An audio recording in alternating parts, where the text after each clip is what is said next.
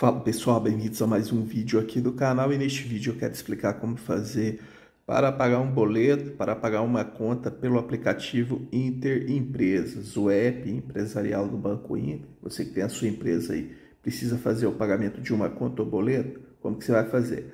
Abre o app Interempresas, acessa aí, deixa eu entrar aqui, vamos lá.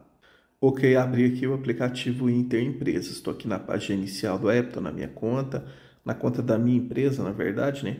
Aí aqui na página inicial do aplicativo, para fazer um pagamento, eu vou fazer o pagamento por código de base, eu já estou com ele copiado aqui. Aí aqui na página inicial do aplicativo, eu vou clicar aqui em pagar, né? Aí vou selecionar aqui, ó, digitar. No caso, para escanear, no caso uma conta impressa, você clica aqui, ó, escanear e faz a leitura do código de barras. No meu caso, eu vou digitar, vou clicar aqui, digitar colocar aqui o código de barras, vou inserir ele aqui. Já identificou credor, beneficiário. Aí, abaixo aqui, ó, eu vou clicar aqui em agendar porque eu estou fora do horário, né? Aí eu vou clicar aqui, agendar e confirmar. Mas no caso de você estar no expediente bancário, você seleciona pagar. Aí, ó, operação aguardando aprovação. Eu vou estar tá voltando aqui para a página inicial. Vamos lá. Voltei aqui para a página inicial do aplicativo. Aí eu vou selecionar a opção aqui, ó, aprovar, clica aqui aprovar, né?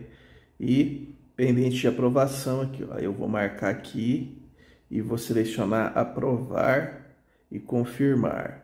E confirmar novamente. Agendamento realizado, aí eu vou clicar aqui OK e aprovação realizada. Se aprovou a transação selecionada, ela também foi concluída por todos os operadores. Aí acompanhar status e pronto aí, ó, já deu certo. Pagamento de boleto aprovado. Então é só fazer isso que você faz o pagamento de uma conta ou boleto aqui pelo app Interempresas de maneira simples e rápida. Então é isso. Qualquer dúvida, deixa nos comentários aí que eu estarei respondendo.